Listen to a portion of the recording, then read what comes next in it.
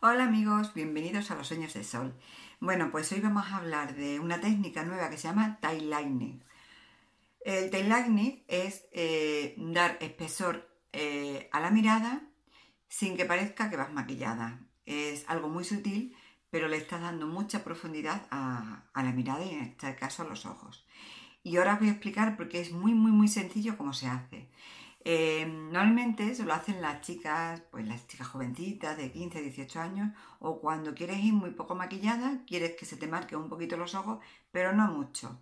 Hay que tener cuidado a la hora de hacerlo y se necesita solamente un lápiz waterproof y una máscara de pestañas.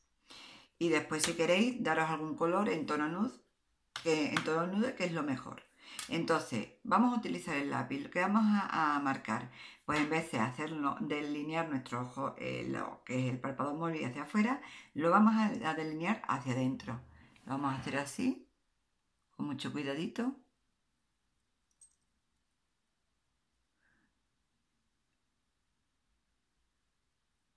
Y hacia adentro.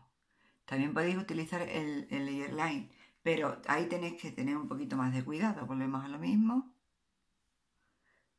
Me tenéis que perdonar porque yo normalmente utilizo un, espejo un poquito de aumento y ahora mismo no lo tengo. Con cuidado.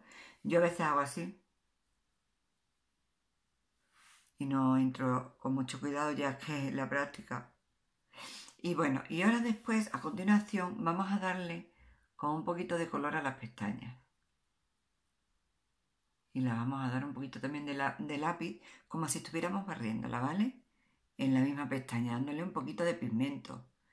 Yo os digo que coger un, un, lápiz waterproof y la técnica esta se llama tie liner. Volvemos a coger ahora la máscara de pestaña y ahora sí nos damos la máscara de pestaña. Ya sabéis, muchas veces os he dicho que la máscara de pestaña darosla siempre en zigzag y hacia arriba. Y si os dais cuenta, con esto, que es súper fácil, el ojo ha cogido mucha profundidad, no parece que vaya maquillado y queda muy bien. Lógicamente, tened cuidado cuando lo dais, porque no vayáis a enterrar el lápiz en el ojo, hay que tener mucho cuidado.